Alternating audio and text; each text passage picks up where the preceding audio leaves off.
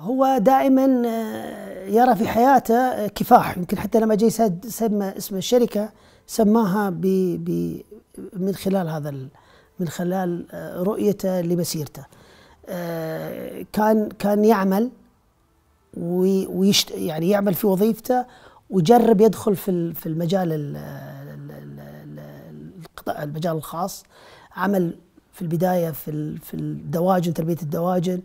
ومع مع شارك أخوه رحمة الله عليه. وسبحان الله ما توفقوا وصارت يعني مرض معين وقضى على الكثير من.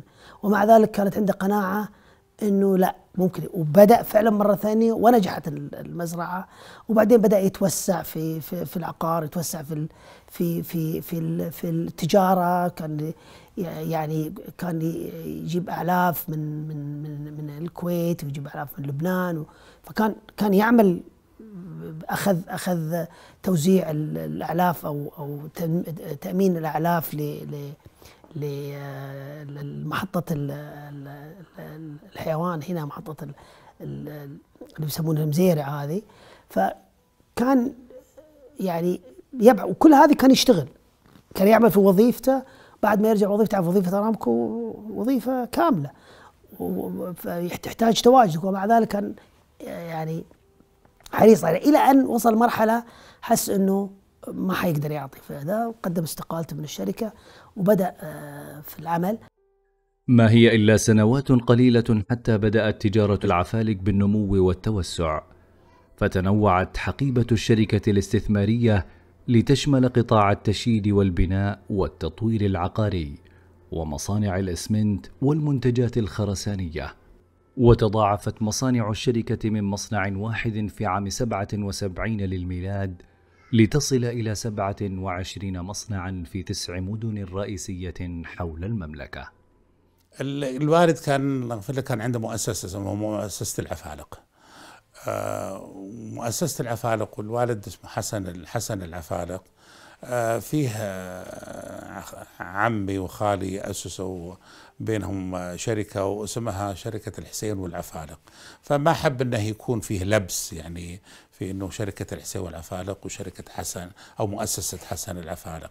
فحب إنه يعني شوية إنه يكون فصل في في الموضوع هذا. وحب إنه يطلع باسم تجاري أكثر من إنه اسم شخصي.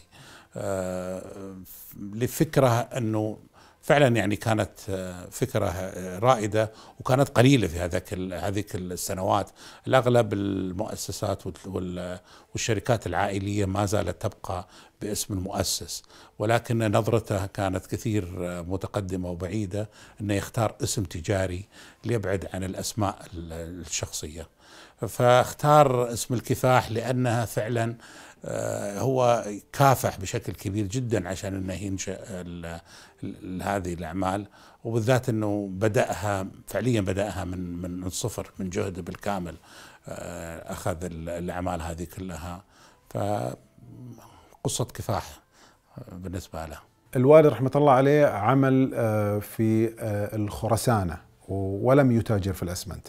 هو بنى أول مصنع له في السلمانيه في الهفوف آه، على أرض مستأجرة من السكة الحديد آه، وبناه كمصنع بلوك طابوق وعمل لمدة ثلاث سنوات إلى أن توسع العمل فبدأ مشروع الخرسانة عام حوالي تقريبا 79 أو 80 ميلادي ومنها يعني توسع العمل. في ذلك الوقت كذلك كانت عنده أعمال المقاولات يعني فكان العمل المقاولات آه، يعني برضو يتوسع بنفس السرعة وبنفس النسق آه، على حسب المشاريع اللي يعني نفذها نفذ في مناطق مختلفة في آه، حائل في وادي الدواسر في مناطق مختلفة في الأحساء برضو نفذ مشاريع كثيرة وفي نفس الوقت كانت الخرسانة هي العامل الرئيسي للتوسع الاعمال التجاريه.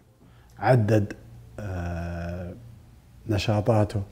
يعني خلى لكل مجال نصيب آه، عرف قيمة التعليم فأكد على ضرورة وجود مدارس متميزة وبدأ بإنشاء مدارس سواء كانت مدارس خاصة هو يديرها أو حتى آه، كمقاول ينفذ مدارس لوزارة المعارف في ذاك الوقت.